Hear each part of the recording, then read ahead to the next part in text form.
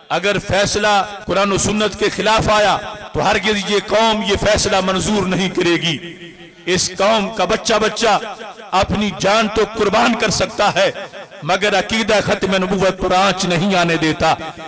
सैयद आलम नूर मुजस्म शफी अलैहि वसल्लम के इस वसफ खत्म नबूवत के लिहाज से पाकिस्तान के अंदर हर वक्त इम्तिहानात जारी रहते हैं। और आलम इस्लाम में हर वक्त इस अकीदा के खिलाफ साजिशें होती रहती हैं। इस वक्त भी इस तरह के हालात हैं। आज जामिया हैदरिया रिजविया के प्लेटफार्म से मैं ये ऐलान कर रहा हूँ, खत्म नबूवत केस के लिहाज से फैसला कुरान सुन्नत के मुताबिक किया जाए। अगर फैसला कुरान सुन्नत के खिलाफ आया तो हर ये कौम ये फैसला मंजूर नहीं करेगी।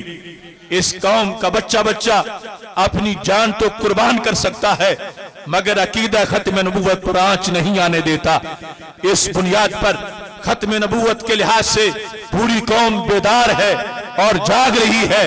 और ये हम वाजे करना चाहते हैं कि कादियानी हरगिज कोई इस्लामी फिरका नहीं। ये इस्लाम के खिलाफ सबसे बड़ा फितना है। ये पाकिस्तान के खिलाफ सबसे बड़ा फितना है। ये ईमान के खिलाफ सबसे बड़ा फितना है। ये कादियानी हर वक्त इस्लाम और पाकिस्तान के खिलाफ साजिशों में मसरूफ हैं। ये इंडिया और इसराइल के जासूस हैं और इम्तना कादियानियत ऑर्डिनेंस के लिहाज से इनको पाबंद किया जाए, इनको खुली छुट्टी देकर पाकिस्तान के वजूद को खतरे में डाला जा रहा है।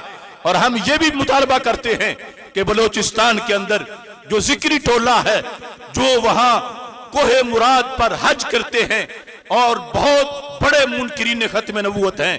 उनके लिहाज से भी पाकिस्तान में पार्लियामेंट में कानून साजी की जाए और उनको गैर मुस्लिम अकलियत करार दिया जाए। क्या आपको ये मुतालबा मंजूर है?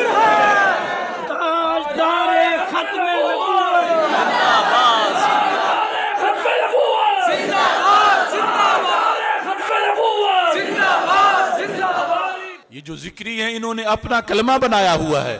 हमारे आका हज़रत मोहम्मद मुस्तफ़ा सल्लल्लाहु अलैहि वसल्लम की रिसालत के मुकाबले में एक मरदूत को वो नबी और रसूल कहते हैं।